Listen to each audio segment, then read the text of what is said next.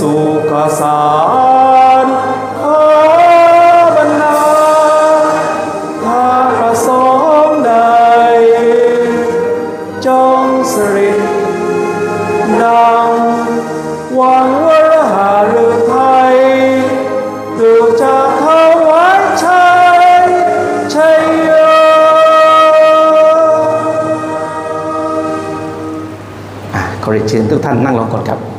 กานนั่งลงก่อนครับโครงการพัฒนาพื้นที่หนองใหญ่ตามพระราชดำรินะครับครับ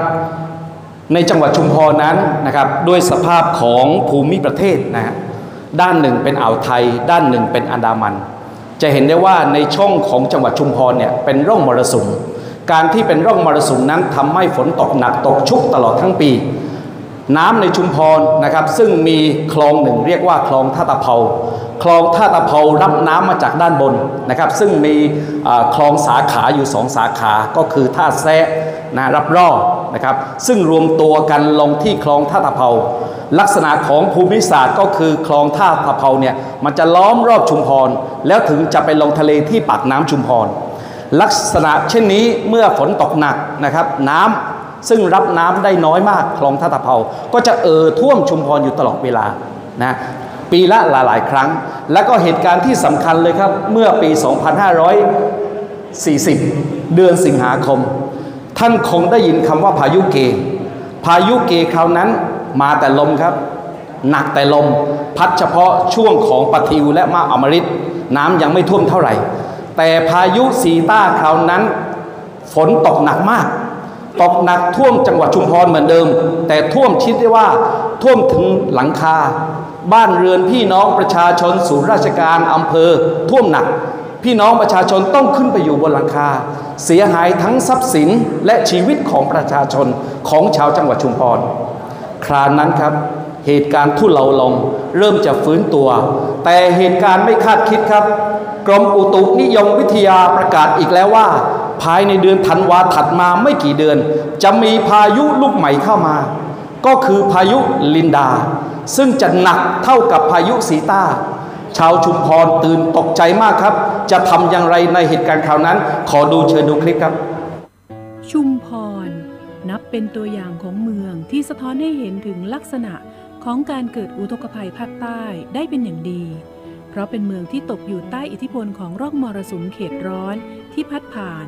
ตั้งแต่เดือนพฤษภาคมถึงเดือนมกราคม อีกทั้งที่ตั้งของชุมพรมักมีโอกาสได้รับอิทธิพลพายุจรพัดผ่านทำให้ชุมพรต้องเผชิญกับภาวะ พายุพัดโหมกระหน่ำอยู่เสมอ นอกจากนี้ที่ตั้งของเมืองชุมพร ยังอยู่ที่ราบลุ่มสองฝั่งคลองท่าตะเภาซึ่งเป็นแม่น้ำสายหลัก เกิดจากคลองท่าแซะ และคลองรับร่อบริเวณลุ่มน้ำตอนบนมาบรรจบกันที่ตำบลนากระตามอำเภอท่าแซะ และไหลผ่านเมืองชุมพร ยามใดที่ฝนตกหนัก บริเวณน้ำป่าจากคลองสาขา ก็จะไหลบ่าลงสู่คลองท่าตะเภาอย่างรวดเร็วทำให้คลองท่าตะเภาที่มีความจุได้น้อยอยู่แล้ว มีปริมาณน้ำมากจนบ่าล้นตลิ่ง เข้าท่วมตัวเมืองชุมพรเป็นประจำเกือบทุกปี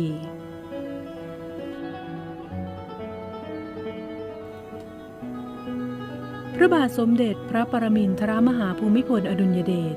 ทรงรับทราบถึงปัญหานี้มาโดยตลอด พระองค์จึงได้มีพระราชดำริให้กรมชลประทาน เร่งรัดขุดคลองหัววังพนังตักให้เสร็จภายใน 30 วัน โดยพระราชทานพระราชทรัพย์ส่วนพระองค์จำนวน 18 ล้านบาท เนื่องจากคลองหัววังพนังตักจะสามารถช่วยระบายน้ำจากคลองท่าตะเภาลงทะเล ได้ก่อนที่น้ำจะไหลผ่านตัวเมืองชุมพร รวมทั้งการก่อสร้างประตูระบายน้ำสามแก้วใหม่ จะสามารถระบายน้ำได้ถึง 400 ลูกบาศก์เมตรต่อวินาที ไปจนถึงการขุดลอกคลองเพิ่ม สามารถช่วยให้มีการระบายน้ำได้เร็วขึ้น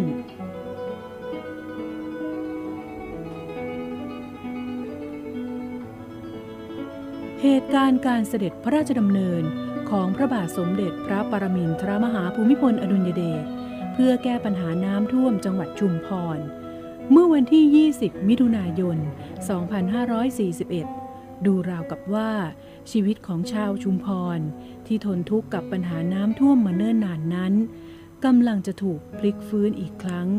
ด้วยแนวพระราชดำริ แก้มลิงน้องใหญ่ แม้สายน้ำจะไร้สมดุล แต่ด้วยพระปีชาสามารถในพระบาทสมเด็จพระปรมินทรมหาภูมิพลอดุลยเดช พระองค์ได้พระราชทานแนวทางแก้ไขอย่างเป็นระบบ นั่นคือทรงแนะนำให้ใช้พื้นที่หนองใหญ่ ซึ่งเป็นพื้นที่ติดกับคลองหัววังพนังตัก มีน้ำท่วมขังตลอดปีสำหรับเก็บน้ำในลักษณะเป็นแก้มลิง คือเมื่อมีน้ำหลากจากคลองท่าแซะ และคลองรับร่อไหลลงสู่คลองท่าตะเภาปริมาณน้ำที่เกินกว่าคลองท่าตะเภาจะรับได้ จะถูกระบายไปสู่พื้นที่หนองใหญ่ หลังจากที่แก้มลิงหนองใหญ่สามารถอุ้มน้ำได้ระยะหนึ่งแล้ว จึงค่อยๆระบายน้ำผ่านทางคลองหัววังพนังตักออกสู่ทะเลต่อไป ช่วยบรรเทาปัญหาน้ำท่วมได้อย่างมีประสิทธิภาพ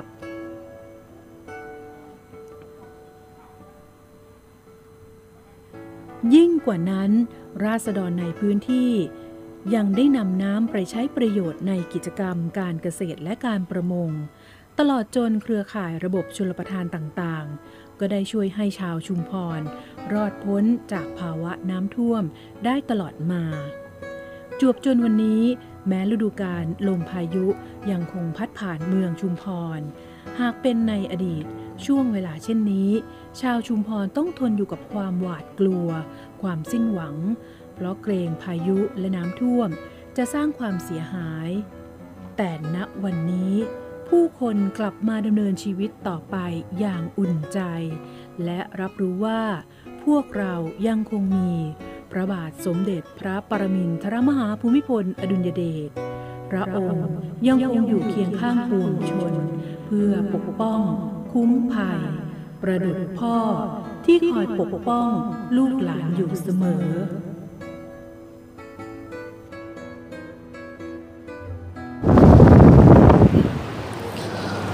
ทุกท่านครับ โดยเฉพาะยุคของพวกเราที่เกิดในรัชกาลที่ 9 ประมาณก่อนข่าวภาคค่ำเรียกว่าข่าวพระราชสำนัก เราจะชินตาสองภาพนี้ครับ หลังจากพระองค์ท่านทรงงานเนี่ยจะมีอยู่สองสิ่ง ก็คือกล้องถ่ายรูปกับแผนที่ กล้องถ่ายรูปท่านจะถ่ายทุกที่ที่ท่านไปทรงงาน เก็บรายละเอียดทุกที่ แล้วก็แผนที่กลับมาจากที่ทรงงานท่านก็มาทำแผนที่ด้วยตัวเอง รายละเอียดที่ท่านไปทรงงานจะเก็บเขียนไว้ทั้งหมด และก็เช่นเดียวกันครับ เมื่อปี 2540 พายุลินดากำลังจะถล่มจังหวัดชุมพรอีกครั้งหนึ่ง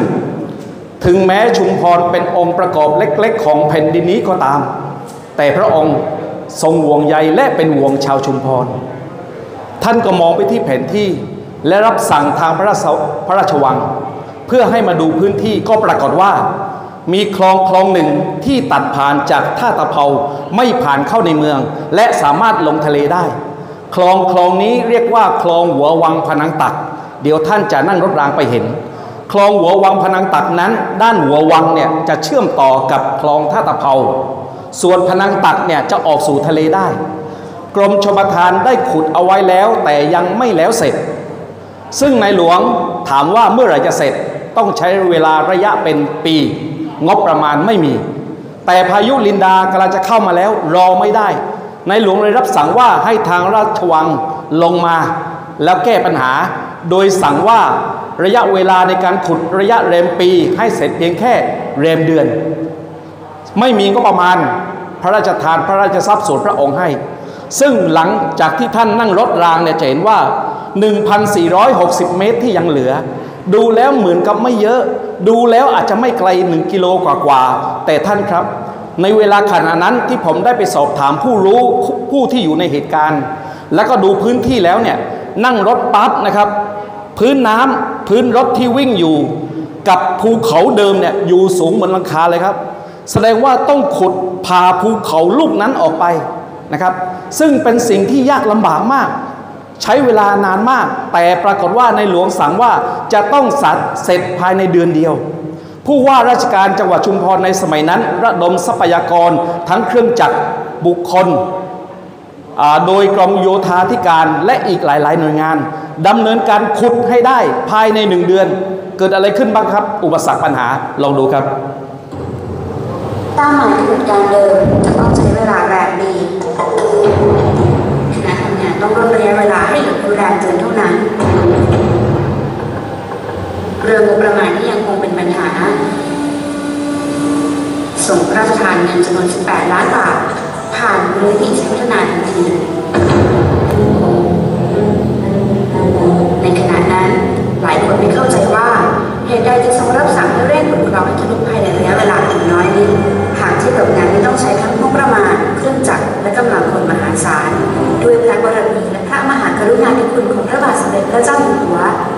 คณะทำงานทุกคนมุ่งมั่นว่า จะต้องทำสิ่งที่เป็นไปได้ยากที่สุดให้เป็นไปได้ ในที่สุด การผนึกกำลังทั้งกำลังความคิดกำลังกายและกำลังใจของชาวชุมพรจึงเริ่มขึ้น ตลอดระยะเวลาการผนึกกำลังของทุกหน่วยงานในจังหวัดภายใต้สภาวะการทำงานที่กดดันเร่งรีบและเต็มไปด้วยปัญหาอุปสรรค บาทสมเด็จพระเจ้าอยู่หัวทรงไม่เคยทอดทิ้งคณะทำงาน ทรงติดตาม และมีพระราชวินิจฉัยแก้ไขปัญหาที่เกิดขึ้น ผ่านผู้แทนพระองค์ถึงแม้จะไม่ได้เสด็จมาดูด้วยพระองค์เอง แต่ทุกคนก็รู้สึกว่าการทำงานครั้งนี้ของพวกเขากำลังต่อเนื่องสายพระเนตรของพระองค์เสมอไม่ใช่เพียงแค่ระยะเวลาอันจำกัดที่ทำให้ทุกคนทำงาน ภายใต้สซิปภาก็วะได้การอ่าที่เจ้าหน้าที่ไปกระซิบสภาพดินฟ้าอากาศที่ไม่เป็นใจ ส่งผลไม่น้อยต่อการทำงานในครั้งนี้ของพวกเขาจนกระทั่งเจ็ดโมงเช้าของวันที่สองทะลุ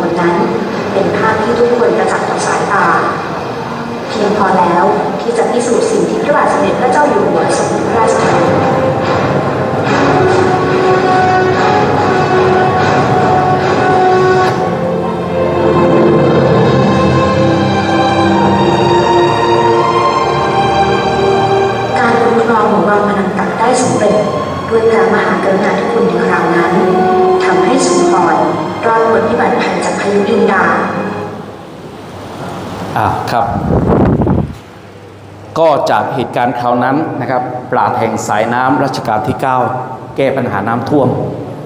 ในการขุดคลองหัววังพนังตักนะครับ ใช้เวลาเพียงแค่เดือนเดียว จากคลิปเมื่อกี้คนใส่เสื้อเหลือง คือผู้ว่าราชการจังหวัดชุมพรในสมัยนั้น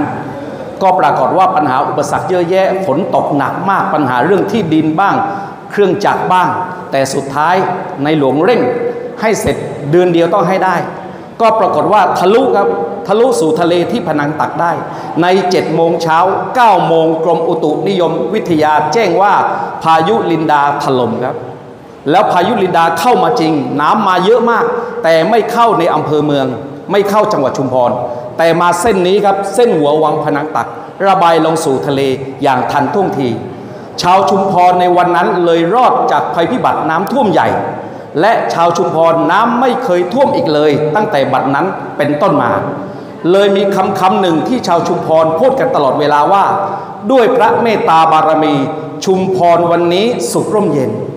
นี่ก็คือพระมหากรุณาธิคุณของในหลวงรัชกาลที่9นะครับหลังจากนั้นนะครับในหลวงก็มองเห็นว่าทำอย่างไรให้คลองหัววังพนังตัก มีการบริหารจัดการน้ำได้อย่างยั่งยืน ระบายน้ำได้อย่างมีประสิทธิภาพ ท่านก็มองเห็นด้านบนนะครับ เป็นหนองใหญ่ บึงหนองใหญ่นั้นใช้ลักษณะที่เรียกว่าแก้มลิง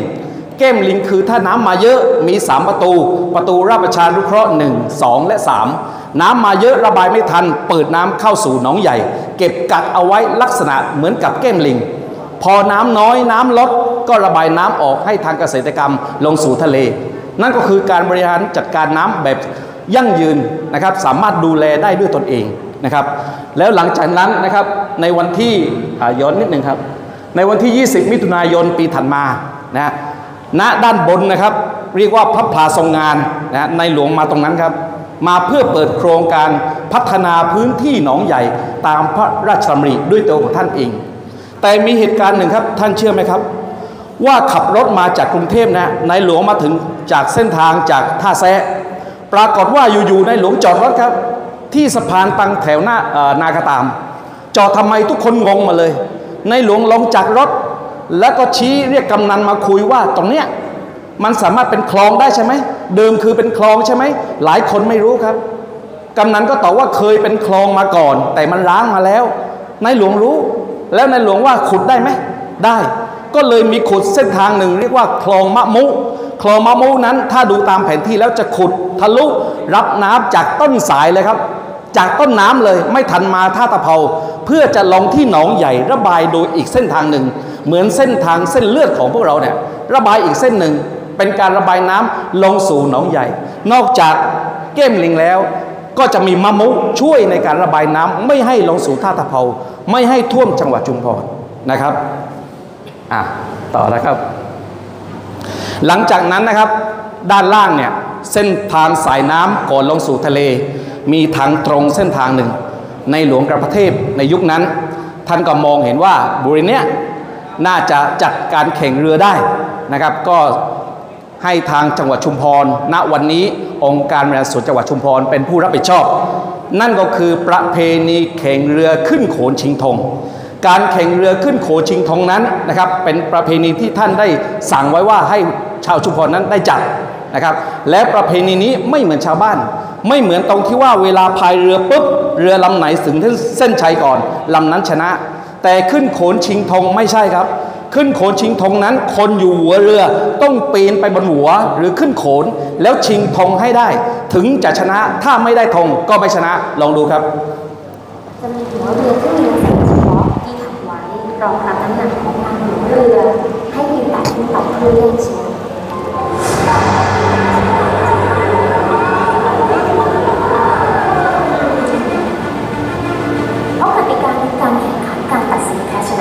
วัดกันที่ความสามารถนายท้ายเรือที่ต้องบังคับหัวเรือให้ตรงและนายหัวเรือที่ต้องปีนขึ้นไปบนหัวเรือ เพื่อชิงธงบริเวณเส้นชัยให้ได้ หากเรือลำใดเข้าเส้นชัยก่อน แต่นายหัวเรือปีนโขนเรือขึ้นไปคว้าธงไม่ได้ หรือคว้าธงได้แต่พัดตกน้ำจะถูกตัดสินว่าเป็นผู้แพ้แต่ต่างจากการแข่งขันเรือยาวที่อ่า ซึ่งจะจัดใกล้ถึงแล้วนะตอนนี้เขากำลังซ้อมซ้อมมาอยู่ อีกไม่กี่วันผมจำวันที่ไม่ได้นะครับ จะอยู่ด้านล่าง ภาพนี้ครับ หลังจากนั้นพื้นที่ทั้งหมดก็จะเป็นแหล่งท่องเที่ยวเชิงนิเวศ เช่นอะไรบ้าง เดี๋ยวผมจะพูดอย่างเร็วๆนะครับ เดี๋ยวจะมีการบรรยายบนรถหนึ่งก็คือสะพานไม้เขี้ยมนะฮะ ไม้เขี้ยมเป็นไม้ที่มีเยอะที่สุดในชุมพรและสุราษฎร์ธานี เป็นไม้ที่แข็งแรงมอดไม่กัดนะครับ แต่เกิดจากพี่น้องชาวชุมพรก่อสร้างโดยไม่ใช้งบประมาณเลยนะโดยนึกถึงในหลวงรัชกาลที่ 9 นึกถึงในบ้านของพ่อ ก็ช่วยกันก่อสร้างจนเป็นแหล่งท่องเที่ยวนะครับ มีสะพานชมกวาง มีศูนย์เรียนรู้เศรษฐกิจพอเพียงสัตว์พระราชา มีแคมปิ้งนะครับ อันนี้ก็คือทั้งหมดให้มีการสมร่วมของชุมชน ณที่แห่งนี้ ผมบรรยายรุ่นหนึ่งถามว่าที่เนี่ยเปิดกี่โมง ผมบอกไม่เปิดครับ เพราะที่นี่ไม่เคยปิดนะให้ชุมชนมีส่วนร่วมไม่ว่าหน่วยงานราชการทหารตำรวจนะองค์การบริหารส่วนจังหวัดอบตเขาคิดว่านี่คือบ้านของพ่อ มีความหวงแหนเหมือนกันหมด รักษาดูแลกัน สืบทอดให้กับลูกหลานทุกท่านครับ ในหลวงรัชกาลที่ 9 พระมหากษัตริย์ที่ทรงงานหนักที่สุดในโลก ท่านไม่มีวันหยุดนะครับ ไม่มีเสาร์อาทิตย์ ตลอด 70 ปี 4,000 กว่าโครงการ หลายคนถามว่าท่านทำไปทำไมทำไปเพื่ออะไรทำไปเพื่อใคร หลายๆ ครั้งโดยเฉพาะหม่อมราชวงศ์คริสต์ปราโมทเคยทรงถามพระองค์ท่านว่า ท่านเคยเหนื่อยบ้างไหม เคยท้อบ้างไหม พระองค์ตอบว่าเคยท้อนะ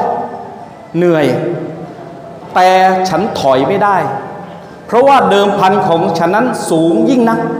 ก็คือความเป็นอยู่ของพี่น้องประชาชน ตลอด 70 ปี บริเวณที่ใดที่ชาวบ้านมีความเดือดร้อน ที่แห้งๆ ดินแล้งๆ ท่านไปพบกับพี่น้องประชาชนไปช่วยเหลือ ติดพื้นติดดินติดประชาชน ไม่มีเก้าอี้ดีๆ นั่ง ไม่มีห้องแอร์ดีๆ ไม่มีโต๊ะ 4849 แต่ท่านนั่งทรงลงอยู่กับพื้น สุดตัวสุดร่างกาย ลงอยู่กับดิน อยู่กับหิน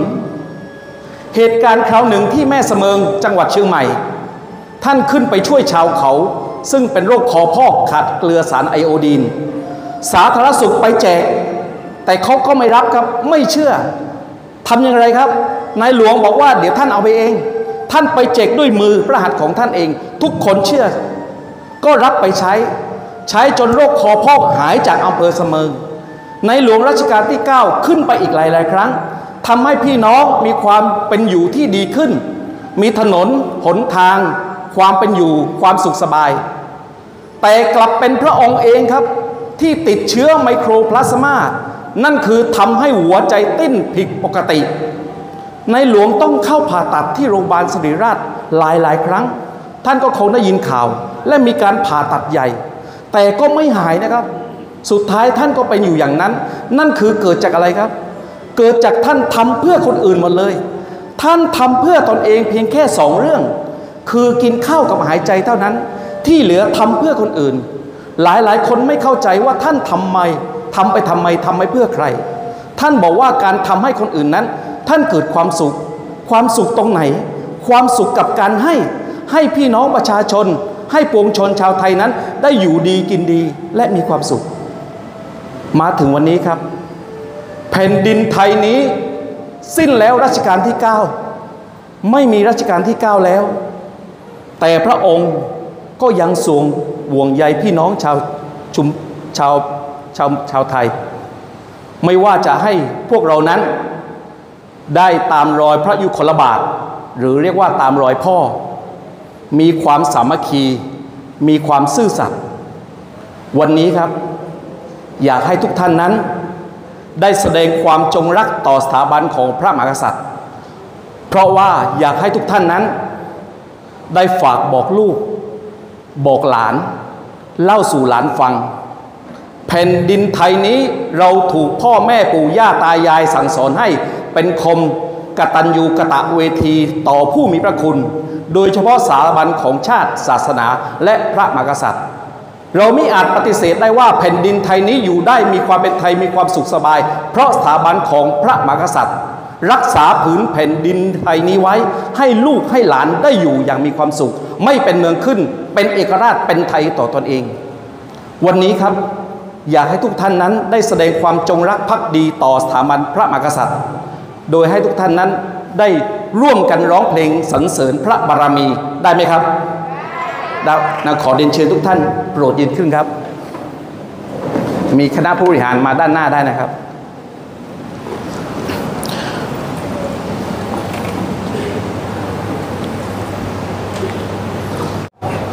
ยืนให้กับพวกเราทรงงานหนักมาตลอด 70 ปี